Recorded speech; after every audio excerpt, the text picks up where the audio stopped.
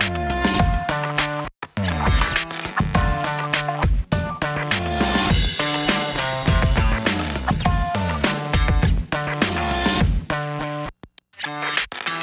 Deus mexe na nossa vida ou sou eu que faço as coisas, né? A gente tem que sempre buscar um equilíbrio. É óbvio que Deus vai mexer na nossa vida para fazer o melhor possível. Sabe aquele cara que vai tentar extrair o seu melhor? Deus vai criar oportunidades, situações para que de fato você possa experimentar o cuidado dele. Às vezes ele precisa dar uma pancada na gente, eu repreendo e disciplino as pessoas às quais eu amo.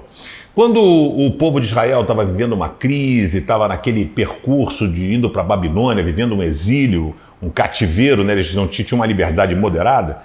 E aí Deus dá uma visão em Jeremias, fala, cara, desce até a casa do olheiro, né? O cara que faz barro, trabalha com cerâmica. E aí diz assim: então eu fui e encontrei o olheiro trabalhando com barro sobre a roda de madeira. Significa o quê?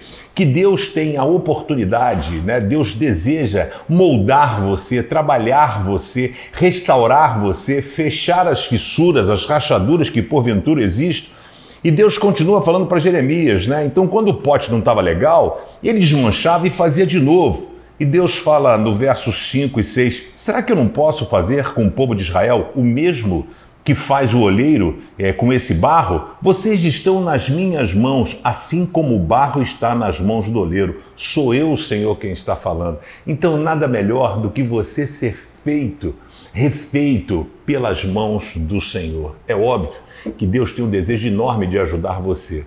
Né? Ele tem todo o desejo de botar você nos caminhos mais fáceis, mas nós temos uma teimosia.